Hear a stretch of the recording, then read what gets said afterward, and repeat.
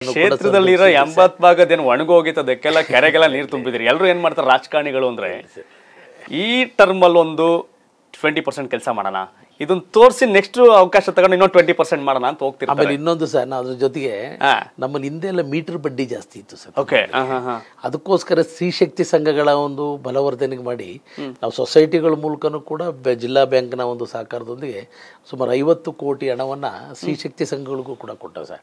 ಅದರಿಂದ ಅಲ್ಲಿ ಬಡ್ಡಿ ತುಂಬ ಕಡಿಮೆ.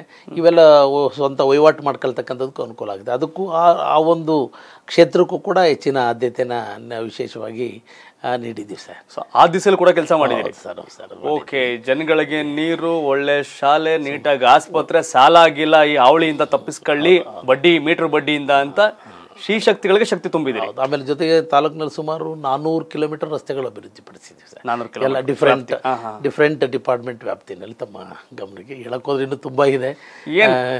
ಬಾಲಕೃಷ್ಣ ಅವ್ರ ಪಟ್ಟಿ ನಾನು ಯಾಕೆಂದ್ರೆ ನಾನು ಆಗಲಿ ನೀವು ಬಂದಾಗ ಗಮನಿಸಿದ್ದೆ. ನಮ್ಮ ಆಫೀಸ್ ಬಂದಾಗ ನೀವು ಹೆಚ್ಚು ಕಮ್ಮಿ ಒಂದು ಹತ್ತು ಹದಿನೈದು ಫೋನ್ ಕಾಲ್ಸ್ ಅಲ್ಲಿ ಮಾತಾಡಿದ್ರಿ.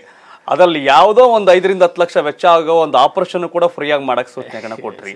ನಾನು ಅದೇ ಗಮನ ಯಾಕಂದ್ರೆ ಇರೋ ರಿಯಲ್ ಪಿಕ್ಚರ್ ಹೇಳ್ಬೇಕಲ್ಲ ಜನಕ್ಕೆ. ಆಮೇಲೆ ನಾನು ಬಾ ಶ್ರವಣ ಬೆಳಗೋಳ ಜನಕ್ಕೆ ಬಾಲಕೃಷ್ಣ ಅವ್ರು ಏನು ಅಂತ ಗೊತ್ತು.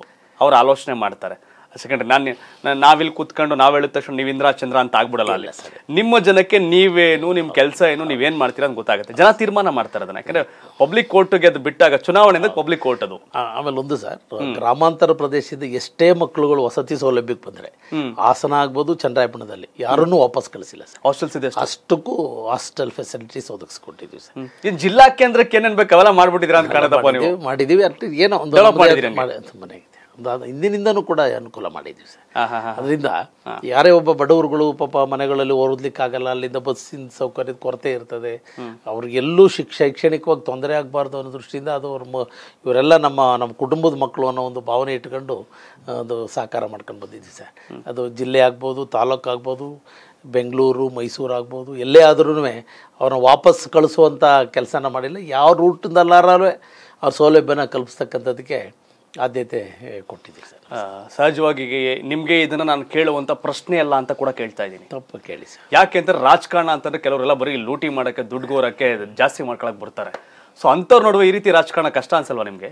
ಕಷ್ಟ ಇದೆ ಸರ್. ನಮಗೇನೋ ಒಂಥರ ಈ ಸೇವೆಯಲ್ಲಿ ಸಿಗೋ ತೃಪ್ತಿ ಇನ್ನೇನಲ್ಲಿ ಸಿಗಲ್ಲ ಸರ್.